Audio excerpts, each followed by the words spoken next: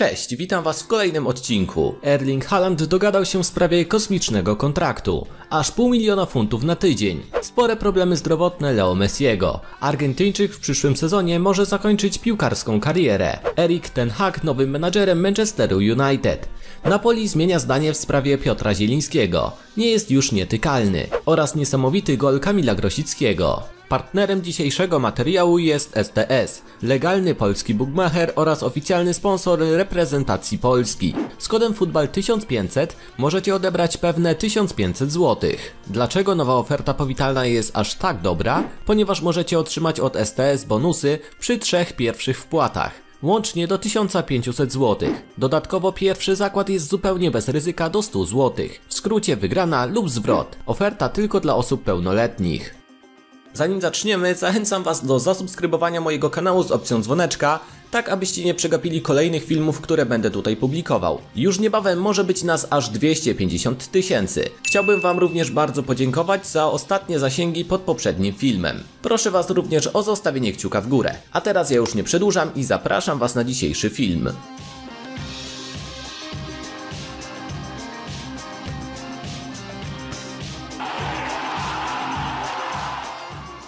Słuchajcie, na Instagramie ekipy obstawiamy, jeden z graczy trafił 4 kupony z rzędu i zarobił blisko 3000 zł. Jeśli szukacie darmowych typów, wpadajcie na ich Instagrama. Link umieszczam w karcie oraz w przypiętym komentarzu pod tym filmem. Dzisiejszy materiał zaczniemy od tematu Erlinga Halanda oraz plotek o jego ewentualnym transferze.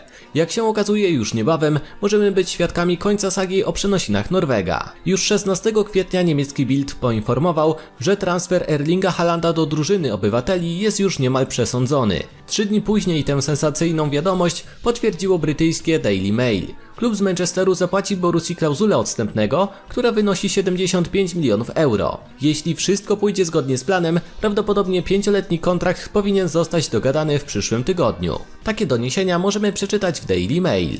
Według dziennikarzy Norweg doszedł do porozumienia w sprawie indywidualnej umowy.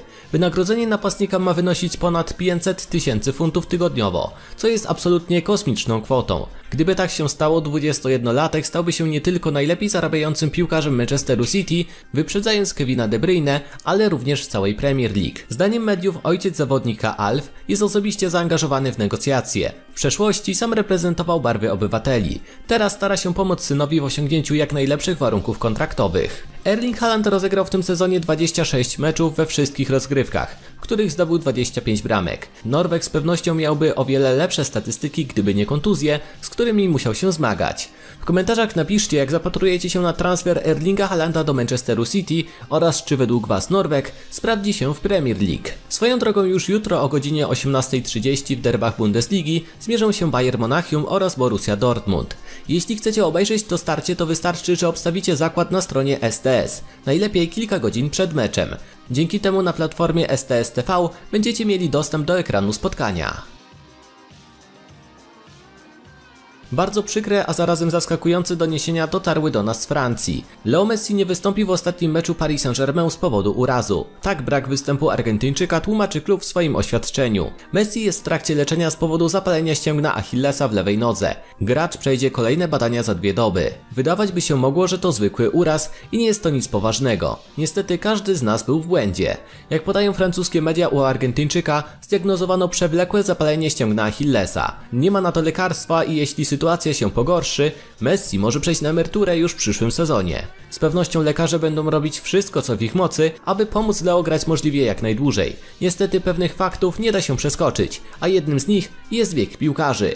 Messi ma już 34 lata i zawodnicy w tym wieku przechodzą na emerytury bądź grają w ligach pokroju MLS czy też chińskiej ekstraklasie. Są wyjątki jak Robert Lewandowski i Cristiano Ronaldo, ale nigdy nie wiadomo kiedy przyjdzie koniec. Utrata takiej legendy futbolu byłaby bardzo smutna. Miejmy nadzieję, że mundial w tym roku będzie obfity w sukcesy zarówno reprezentacji Portugalii, jak i Argentyny, bo to prawdopodobnie ostatnie mistrzostwa świata Cristiano Ronaldo i Leo Messiego. Manchester United od dłuższego czasu szukał nowego trenera. Było wiadomo, że czas Ralfa Rangnika dobiega końca. Zgodnie z przewidywaniami, wybór klubu padł na Ten Haga. Holender, który wyrobił sobie świetną renomę dzięki pracy z Ajaxem, był związany z dotychczasowym klubem do połowy 2023 roku. Dzięki porozumieniu między klubami odejdzie już po tym sezonie. Kontrakt Ten Haga będzie obowiązywał do połowy 2025 roku. Jest w nim możliwość przedłużenia umowy o kolejny sezon. To wielki zaszczyt zostać menadżerem Manchesteru United. Jestem podekscytowany tym wyzwaniem. Znam historię tego wspaniałego klubu. Jestem zdeterminowany, by stworzyć zespół zdolny do odnoszenia sukcesów, na jakie Manchester United zasługuje. Trudno będzie mi opuścić Ajax. Mogę zapewnić jego kibicom o moim całkowitym zaangażowaniu do końca sezonu. Trzeba przyznać, że ten hack to bardzo ciekawe zagranie ze strony Manchesteru. Holender ma spore doświadczenie w budowaniu zespołu od podstaw, co niejednokrotnie udowodnił prowadząc Ajax Amsterdam. Tak czy inaczej postawienie United na nogi będzie bardzo ciężkim zadaniem, ale nie niewykonalnym.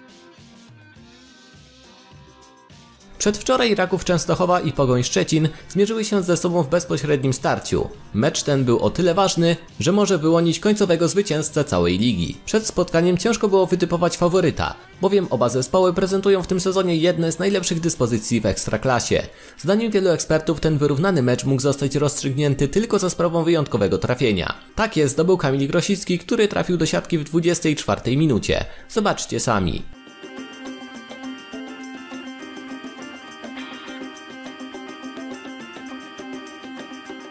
Mimo iż gol Kamila Grosickiego pozwolił wyjść gospodarzom na prowadzenie, nie zdołali oni wygrać tego spotkania. Za sprawą zwycięstwa Raków skoczył na pierwsze pozycje w tabeli Ekstraklasy i są głównym pretendentem do wygrania całej ligi. Jak się okazuje, Piotr Zieliński nie jest już nietykalny w drużynie Napoli. Dziennik El Matino donosi, że klub rozważa sprzedaż Polaka, który w ostatnim czasie gra znacznie poniżej oczekiwań. Napoli zaczyna przegrywać walkę o Mistrzostwo Włoch. Podopieczni Luciano Spallettiego w ostatnim czasie zanotowali kosztowną wpadkę w meczu z Fiorentiną, z którą przegrali na własnym boisku 2 do 3, a w poniedziałek tylko zremisowali z AS Romą 1 do 1 choć prowadzili do 90 minuty. Potknięcia te sprawiły, że strata drużyny z Neapolu do lidera, czyli AC Milanu, wynosi już 4 punkty, a do końca sezonu zostało już tylko 5 kolejek. Jako jednego z winnych słabszej gry zespołu włoskie media wskazują Piotra Zielińskiego. Polak zebrał bardzo przeciętne noty za mecz z Romą. Tak włoskie media skomentowały jego występ. Lepiej trzymać go na ławce dla dobra wszystkich. Dziennik El Matino przekonuje, że sytuacja Polaka, który jeszcze do niedawna był nietykalny, radykalnie się zmieniła. Napoli jest nawet skłonny sprzedać Zielińskiego. Stawia tylko jeden warunek. Musi uzyskać za transfer odpowiednią kwotę. W 2020 roku, gdy prezes przedłużył umowę z Piotrem Zielińskim, zapowiadał, że sprzeda go za minimum 100 milionów euro. Dwa lata później wartość zawodnika szacowało się na połowę tej kwoty.